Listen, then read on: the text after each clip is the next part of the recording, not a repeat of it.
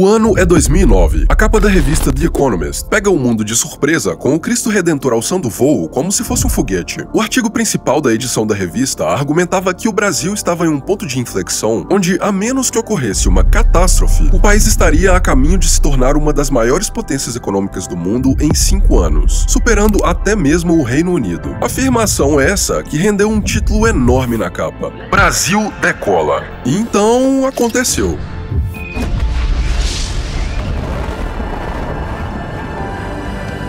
Vai perder, vai ganhar, vai perder, vai ganhar, perdeu! Uh, só que não.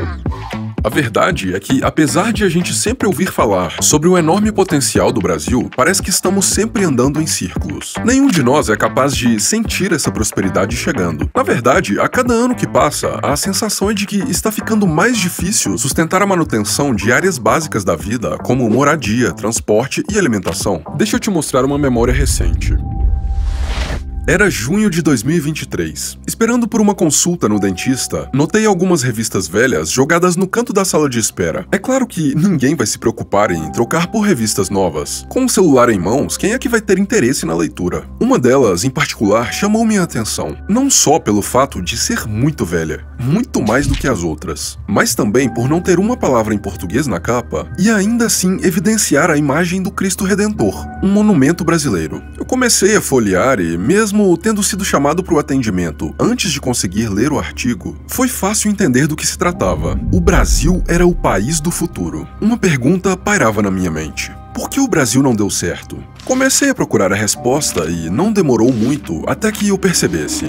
Não existe um consenso sobre isso. Existem tantas variáveis que é impossível bater o martelo. Esse é um território nebuloso que divide opinião entre inúmeros autores e pensadores. E se até eles discordam sobre a resposta para essa pergunta, não espere que a verdade absoluta surja através de mim. Eu sou só um cara que estuda sobre os assuntos que tem interesse e compartilha os pensamentos no YouTube. O seu trabalho aqui não é acreditar em mim, é analisar o meu ponto de vista e questionar o que não parece fazer sentido para você. Por isso, eu te convido a se livrar de distrações e imergir comigo em uma jornada pelo tempo até o Brasil colonial.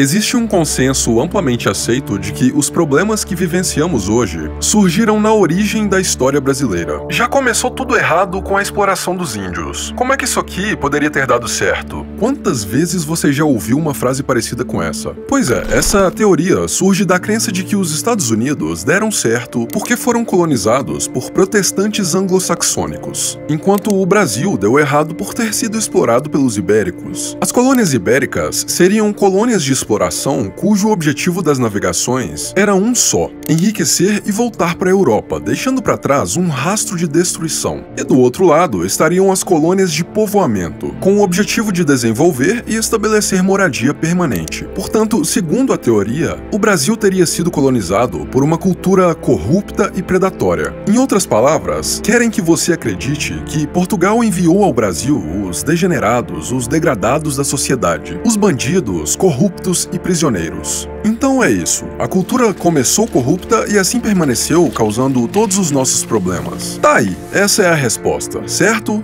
Não. Existem muitas evidências que refutam essa narrativa. A mais conhecida delas, Vera Cruz. O nome, que significa cruz verdadeira, foi dado ao Brasil enquanto os portugueses ainda pensavam que o território se tratava de uma ilha. A verdade é que os caras não eram meros mercadores ambiciosos, mas homens cujo principal objetivo era difundir sua fé pelo mundo. A colonização do Brasil foi um período marcado pelo desenvolvimento das riquezas, trocas comerciais e a evangelização dos povos indígenas. Os jesuítas teriam sido os responsáveis pela paz com os índios, pela educação e pela união do território brasileiro. Eles fundaram escolas, ajudaram os índios a entender o que é a caridade no conceito cristão, civilizaram os indígenas para abandonar o canibalismo, trouxeram conhecimento sobre o cultivo através dos campos agrícolas, aprenderam a língua das tribos e depois ensinaram o português. A verdade é que a gênese da sociedade brasileira teve sua base moral apoiada em valores cristãos Imagine a cena: você é um indígena morando em uma vasta floresta rodeada por pau-brasil. Tem pau para todo mundo, pau que não acaba mais. é...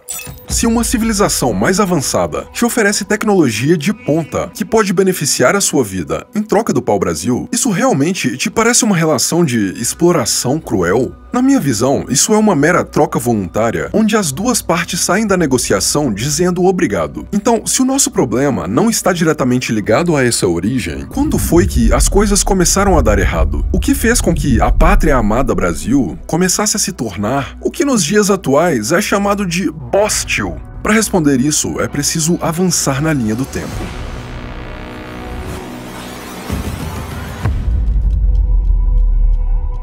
Fato de a relação entre europeus e indígenas ter sido mais amistosa do que o que o seu professor de história com camisa do Che Guevara te conta, não significa que era a Disneylândia. Antes da chegada dos portugueses, as próprias tribos viviam em constante guerra, o que fez com que algumas delas buscassem a aliança dos europeus nessa disputa. Daí surgem os primeiros registros da escravidão indígena. Os jesuítas atuavam como intermediários entre indígenas e colonizadores, protegendo os índios da escravidão e da exploração. Proteção essa que colocava os jesuítas sempre em conflito direto com outros grupos colonizadores, como os bandeirantes. Esses exploradores, em busca de riquezas e escravos, frequentemente invadiam as reduções, capturando e escravizando os indígenas, apesar da proibição explícita da igreja. A mão de obra escrava, ainda que imoral, era considerada algo comum no mundo inteiro, e no Brasil não foi diferente. Pelos próximos 350 anos, quase 6 milhões de escravos africanos seriam importados para o continente no intuito de compor a mão de obra em plantações de cana-de-açúcar. É possível que essa mancha na história brasileira tenha influenciado a cultura de um povo que se acostumou a aceitar ser controlado e dominado. Mas, alheio à questão da escravidão, precisamos olhar para um acontecimento que, à primeira vista, pode parecer insignificante, mas que pode conter a semente do que fez com que o Brasil não desse certo. Eu tô falando de um homem, uma decisão, um momento que mudou o curso da história brasileira. Eu estou falando de Marquês de Pombal, o poderoso ministro do rei de Portugal. Esse cara tinha uma agenda nefasta para ser implementada, mas tinha um obstáculo: os jesuítas. Aqueles que, pelos últimos 200 anos, desempenharam o papel de educar o povo brasileiro. Então, em 1759, Pombal toma uma decisão drástica e expulsa os jesuítas de Portugal e de todas as colônias, incluindo o Brasil. Com os jesuítas fora do caminho, Pombal pôde implementar reformas radicais, transformando o Brasil em uma espécie de vaca leiteira para a coroa portuguesa. Os colégios foram fechados, acarretando na estagnação do desenvolvimento de várias regiões brasileiras. Com isso, Pombal começa um processo de influência estatal em várias dimensões da vida da população que, até então, eram independentes do Estado. Era o começo de uma nova era na colônia brasileira, uma era onde o ensino e a educação seriam moldados para formar cidadãos pelo Estado e para o Estado. A partir daquele momento, o ensino no Brasil deixaria de ter o puro objetivo da educação e passaria a adentrar o campo da doutrinação. Veja bem, forjar a mentalidade da população em prol do Estado é uma ideia particularmente perigosa, principalmente se em algum momento da história o poder acabar nas mãos de pessoas com um projeto autoritário, o que por muito tempo não foi uma real ameaça, não até 1889. Enquanto a América Latina era um conglomerado de repúblicas com sucessivos golpes e ditaduras brigando pelo poder, o Brasil era uma monarquia sólida e forte. Mas nesse momento, em meio a trapaças, às pressas, escondido e sem apoio da população, o Brasil teria sua semente roubada pela queda da monarquia. Era o surgimento do falho, conturbado e corrupto regime republicano. Regime este que, algumas décadas mais tarde, gerou a maior catástrofe da história desse país. Um pesadelo que traumatizou várias gerações e que nos assombra até os dias de hoje. A inflação. Peço licença porque de inflação eu entendo. Está para surgir uma maneira mais eficaz de destruir qualquer esperança de um futuro glorioso de uma nação quanto contrair dívida externa e expandir a sua base monetária sem medo de ser feliz. O Brasil fez os dois. Por décadas. O início efetivo do nosso ciclo de esquizofrenia econômica poderia ser definido durante o período Vargas, que, como bom canalha oportunista que sempre foi, utilizou seu regime autoritário não alinhado como barganha nas infindáveis negociações realizadas com os aliados na Segunda Guerra. A Alemanha bigodista era nossa maior parceira econômica e um aliado ideológico do pigmeu gaúcho. Os gringos fizeram de tudo para colocar a pátria amada Bostil ao lado dos aliados. Como uma dama da noite um clube de striptease, Vargas encheu os próprios bolsos e com o troco deu um gás na industrialização do Brasil. Bilhões de dólares a juros baixíssimos impediram que a Alemanha fincasse os pés no quintal dos americanos. O nosso processo inflacionário não começou aqui, mas as ideias que iriam pautar as próximas décadas de destruição econômica. Sim, a República Populista gastou os tubos em projetos estúpidos, que também pode se traduzir em Brasília. A construção da capital federal foi o ponto de virada para o endividamento da nação. Enquanto Juscelino brincava de Sin City com a múmia comunista, torrando 10% do PIB brasileiro em uma cidade cafona com formato de avião, os coreanos investiram quase o mesmo montante equivalente em educação. JK termina o seu desastroso mandato com uma inflação de 30% ao ano e uma dívida três vezes maior do que a deixada por Vargas. A tendência de descontrole fiscal seguiu firme e forte até o colapso da República em 64 e foi amplificada a 15ª potência pelos milico. Com a Europa e a Ásia reconstruídas, havia uma grande oferta de crédito barato disponível e o Brasil fez pleno uso disso. O combustível do milagre econômico da década de 70 não foi a competência dos burocratas militares, foi o dinheiro de investidores estrangeiros que viram no Brasil um jeito fácil de obter retornos exorbitantes obras faraônicas surgindo em todos os cantos da federação, uma verdadeira festa de contração de dívida com juros flutuantes que encontrou o seu desastroso fim em 1973 com o choque do petróleo. Os juros de uma dívida impagável subiram, os custos de exportação explodiram com a nossa balança comercial e a decisão sensata do governo brasileiro foi desvalorizar a moeda para atrair ainda mais capital estrangeiro. Apesar da produtividade não ter melhorado nem um pouquinho. A singela inflação de 55% ao ano em 73 chegou a 110 uma década depois. A emissão de títulos públicos federais com juros e liquidez cada vez mais alta preparou o caminho das pedras para a década perdida de 80 e a hiperinflação de 90. Mas desgraça pouca é bobagem, os governos estaduais estavam rolando as suas dívidas através de seus próprios bancos, a juros e liquidez muito mais altas do que o governo federal. A pressão inflacionária foi tão colossal que trocamos de moeda três vezes em quatro anos. Vários planos mirabolantes foram desenvolvidos e todos fracassaram. Nem uma Selic acumulada de 2.183,11% em dezembro de 93 conseguia chegar perto de estancar a grotesca inflação de 2.489,11%. Esse é o legado do nacionalismo desenvolvimentista brasileiro, uma indústria improdutiva que passou 60 anos parasitando os impostos do contribuinte e foi quase completamente aniquilada com seis meses de uma anêmica abertura comercial. O povo brasileiro foi tão aviltado que nem mesmo a poupança era mais uma forma segura de guardar o pouco e constantemente desvalorizado dinheiro. O país estava caminhando a passos largos em direção ao colapso até que surge o plano real. Imagine acordar, ir à padaria e descobrir que o pãozinho que você comprou ontem por um real, hoje custa cinco reais. Pois é, era meio que essa a sensação que os brasileiros sentiam naquela época. Eis que, em meio a esse caos e o iminente colapso, surge o plano real. O plano era simples, mas tão audacioso que parecia ter saído de Hollywood. Criar uma nova moeda. Sim, mais uma das, sei lá, 638 que haviam sido criadas nas décadas anteriores. Mas dessa vez com uma diferença chave em relação às outras. A moeda seria ancorada ao dólar, ou seja, um real valeria o mesmo que um dólar. Sim, por incrível que pareça, isso já aconteceu, já foi real. Ou melhor, já foi o real. Não era só mais uma moeda na longa lista de tentativas fracassadas de estabilização econômica. Não. O real era a esperança de um povo que há muito tempo sofria com a incerteza do dia de amanhã. Um povo que nem sequer conhecia a palavra investimento, não. Dinheiro na mão era vendaval. Ou você gastava logo, ou aquele valor era corroído em poucos dias. É nesse cenário que nasce uma esperança. Apesar de a dívida pública, que já era colossal, ter aumentado ainda mais, tornando o Brasil um país dependente de capital estrangeiro, o plano real tinha funcionado. A inflação foi domada, a economia começou a girar e aquele povo pôde voltar a sonhar. Os astros se alinharam, os ventos mudaram. Uma combinação de fatores internos e externos estavam prestes a marcar a história do Brasil por um crescimento sem precedentes até que alguém conseguisse estragar tudo. Então, aqui hoje eu tô, sal... eu tô saudando a mandioca.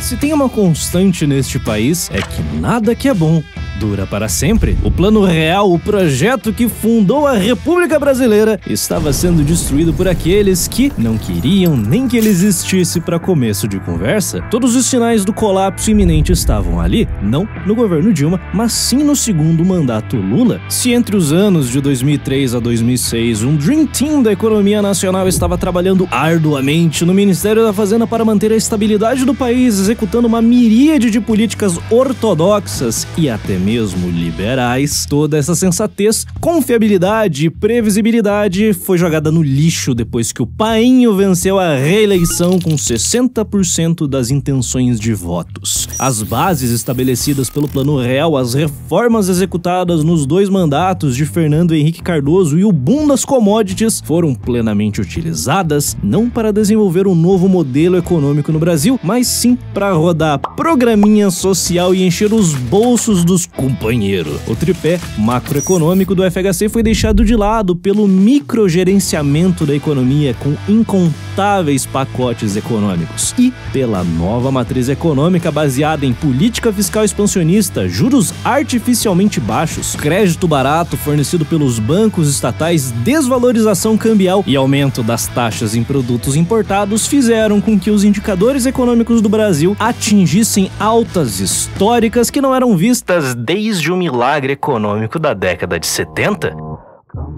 Brasil, durante os governos Lula e Dilma, voltou 40 anos no passado, só que de uma forma levemente alterada, com os cofres do Tesouro Nacional estufados depois de vender soja e minério de ferro a preço de ouro e o dólar desvalorizado, o nacional desenvolvimentismo teve o seu retorno triunfante com o PAC os campeões nacionais. Esse foi o projetinho do PT para tentar copiar o modelo sul-coreano de protecionismo econômico, financiando com dinheiro público as maiores empresas empresas do país para que se tornem ainda maiores e atuem no estrangeiro trazendo mais riqueza ao Bostil. A questão é que nossos gestores são péssimos, a mão de obra é desqualificada e a produtividade da indústria brasileira é baixíssima. E estamos lidando com políticos e empresários latinos. O grosso do dinheiro que deveria ser utilizado em infraestrutura e maquinário acabou em algum galpão na Suíça. As impressoras que estavam pegando poeira desde 94 foram plenamente lubrificadas, pois a partir de 2007 elas iriam rodar 24/7 para financiar os infindáveis empréstimos bilionários tomados pelas empresas amigas do rei. O sistema era o seguinte: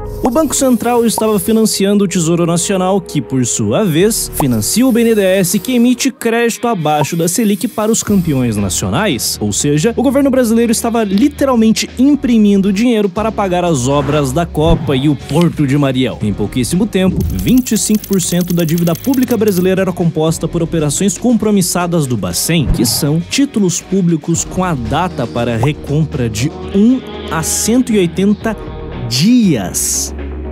Esse sistema vigorou por quase uma década. A dívida pública e a inflação foram para o teto e a possibilidade de estancar o financiamento público das maiores empresas privadas do país simplesmente não existia. Se o dinheiro do BNDES parasse de entrar, essas corporações iriam quebrar. E com isso, toda uma cadeia produtiva artificial seria desfeita, fazendo com que milhões de brasileiros se tornassem desempregados. E foi exatamente isso que aconteceu. A conta de quase uma década de massiva intervenção estatal na economia chegou.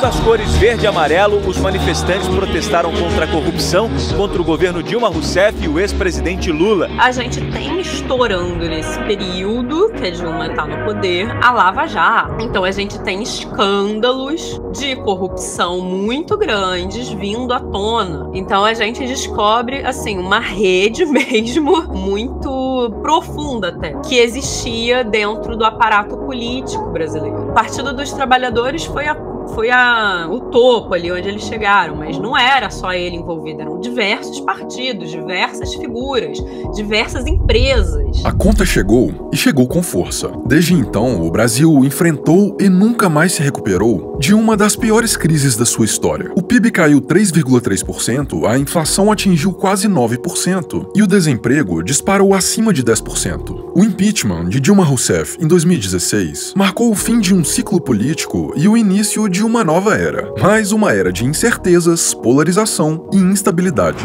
E depois a gente vai ter o, o Bolsonaro assumindo em 2018 como uma pessoa fora do chamado establishment político, ao contrário do Lula que surfou uma onda muito favorável, o Bolsonaro sofreu duas ondas muito desfavoráveis. O Brasil ele estava num bom passo para fazer retomadas econômicas importantes. E isso foi muito interrompido por conta da crise que a gente vive em 2020, sim. Em 2020, a crise sanitária atingiu o Brasil, exacerbando ainda mais os problemas econômicos do país. O PIB mais uma vez tem uma queda de 4,1% naquele ano. No ano seguinte, o Brasil começou a se recuperar lentamente da crise econômica. E quando parecia que as coisas iam melhorar. O estourar, então, da guerra na Ucrânia. e o Brasil, assim como muitos outros países, dependia, por exemplo, de fertilizantes da Rússia. Tudo passa-se a virar meio que uma bola de neve aqui para o Brasil, que imprime muito dinheiro em 2020, como outros países também. Por isso também eles estão sofrendo com essa inflação. A inflação não vem da guerra da Ucrânia, a inflação ela vem de 2020, porque os governos imprimem muito dinheiro. A inflação continuou a subir, atingindo 10% em 2021, o maior nível em mais de uma década. E mais uma vez, o Brasil parece que vai. Aí ele para.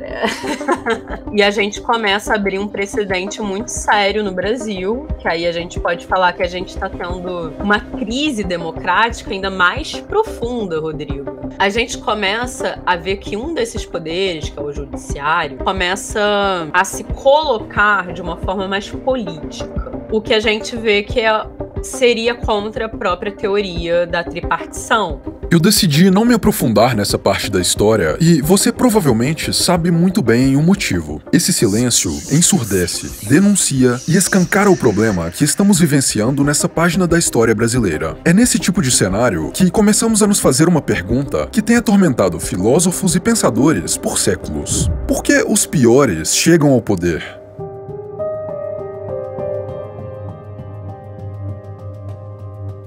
Que você estaria disposto a fazer para conquistar o poder? Até onde você iria? Passaria por cima dos seus valores para conseguir? Que tal uma pequena trapaça?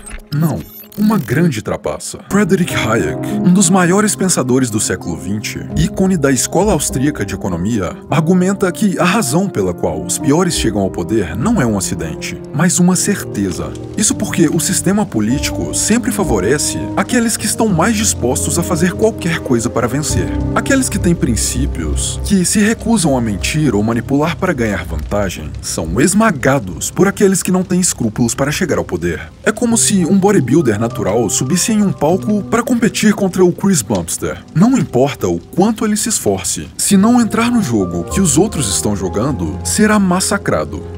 Se Hayek estiver certo, se for realmente inevitável que os piores cheguem ao poder, então nossa melhor defesa é o conhecimento, não a mera informação, mas a capacidade de compreender e refletir sobre essas informações. Os motivos pelos quais o Brasil não deu certo estão longe de ser simplesmente culturais, mas a solução para esses problemas talvez seja Não existe autoritarismo em um país composto por uma maioria de indivíduos inteligentes, capazes de questionar o que lhes é imposto e de pensar por si mesmos. A alienação, castração e doutrinação do povo brasileiro talvez tenha tido seu início com o expurgo dos jesuítas. Já faz muito tempo que estamos sendo preparados para a obediência. Por mais que o discurso amplamente aceito seja de que isso se resolve na escola, eu penso o contrário. Na minha visão, a escolarização não resolveria absolutamente nada, já que quem educa está meramente reproduzindo a doutrinação que recebeu no passado. A única forma de criar um futuro promissor é através de jovens adultos que, por interesse próprio, decidem trilhar uma vida em busca da verdade, tornando-se pessoas mais inteligentes e com uma fome insaciável de compreender a realidade. Os adultos controlam o mundo, e é observando eles que as gerações futuras criarão sua realidade. Estamos em um momento crítico da história, e por mais que o mundo esteja dando sinais de colapso, enquanto há vida, há esperança.